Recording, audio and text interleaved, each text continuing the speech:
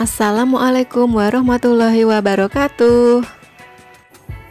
Berlarilah ketika kamu bisa, berjalanlah jika harus, merangkak jika perlu, tapi jangan pernah untuk menyerah. Hai, welcome back to my channel Rafiqah Al-Majid. Channel seputar ibu rumah tangga yang hidup sederhana Yang kesehariannya selalu bersih-bersih rumah, selalu masak-masak dan di video kali ini aku tuh nggak lagi bersih-bersih, nggak lagi masak-masak, tapi kali ini aku mau share kegiatan aku yaitu belanja bulanan. Oke, dan kali ini aku udah berada di agen apa ini ya? Namanya Toserba ya teman-teman ya. Aku ditemenin sama anak aku yang cowok, kakak Panji. Ini kita mau belanja bulanan ya teman-teman. Oke, sebelumnya aku mau nyapa-nyapa dulu buat teman-teman online aku. Halo, hai. Hai moms, hai teman-teman semua. Gimana kabarnya hari ini? Semoga kalian selalu dalam keadaan sehat ya.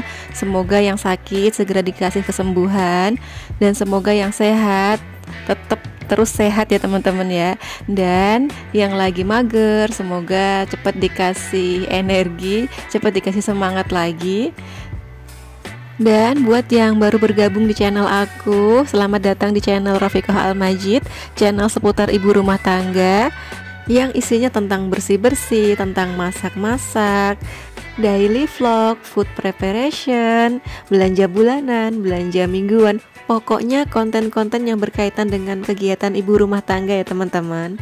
Terima kasih ya yang udah mau klik video ini. Semoga mau nonton videonya sampai selesai. Dan semoga kalian tuh nggak bosen-bosen lihat video aku, nggak bosen-bosen denger suara aku yang nggak ada merdu-merdunya ini.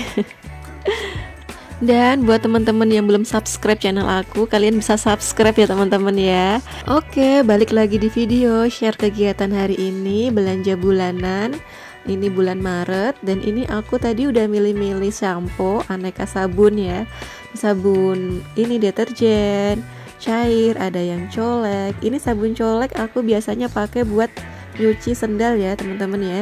Nyuci sendal sama nyuci lap-lap dapur. Dan ini aku juga beli ada permen milk kita. Ini kakak Panji yang request minta permen lollipop. Terus aku beli juga ini kental manis. Dan ini di sini banyak banget ya teman-teman ya.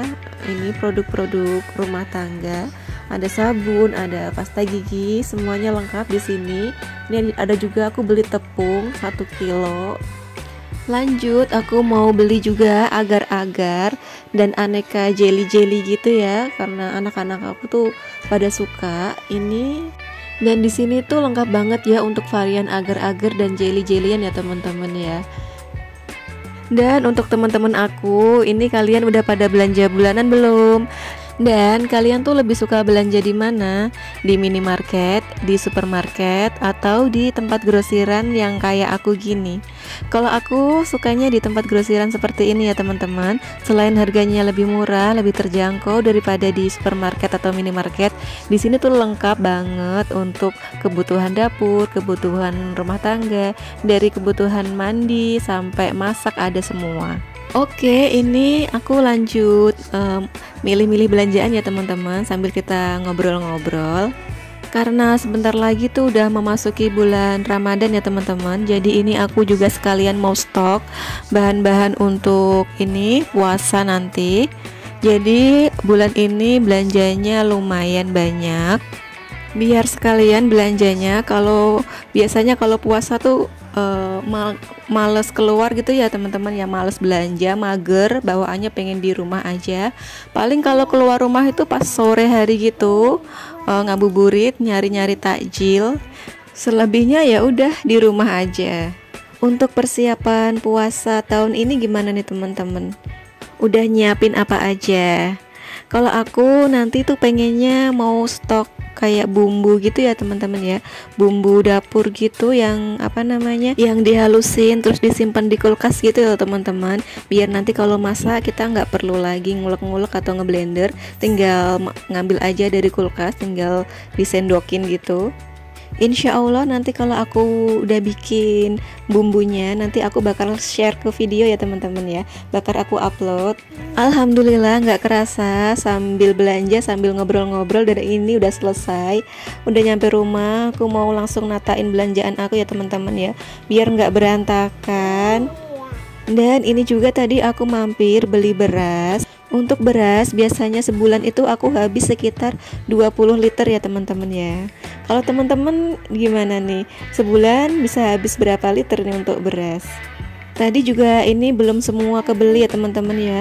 Belum beli pampers karena tadi kan kita bawa motor ya dan ini udah nggak muat motornya. Jadi ya udah untuk pampers kita belinya besok aja. Kebetulan stoknya juga masih ada nggak habis-habis banget. Oke lanjut share lagi. Ini aku keluarin dulu belanjaan aku dari plastik. Kalau nggak di videoin, nggak dibikin konten biasanya aku langsung masukin aja ya ke lemari ya teman-teman.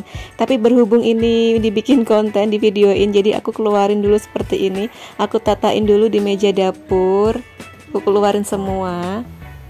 Masya Allah, Alhamdulillah. Kalau udah belanja bulanan kayak gini Rada tenang ya teman-teman ya dan aku tuh juga mau ngucapin banyak-banyak terima kasih buat teman-teman yang udah subscribe channel aku, yang udah support aku. Terima kasih banyak.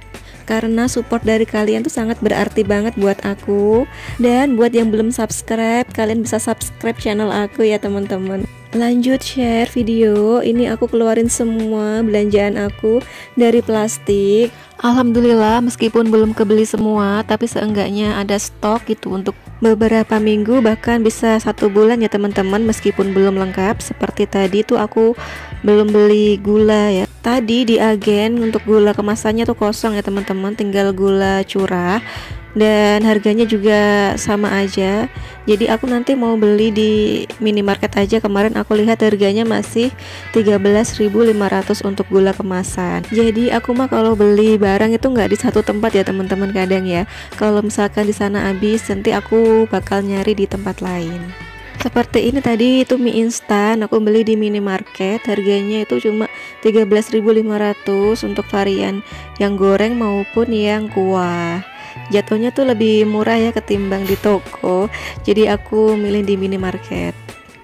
Lanjut share video lagi. Ini untuk deterjen. Aku biasa ya pilih deterjen yang cair ya teman-teman.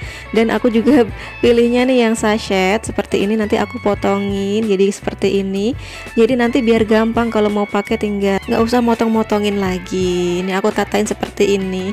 Dan tempat buat wadah deterjennya juga ini dari bekas bekas kardus paketan ya teman-teman ya.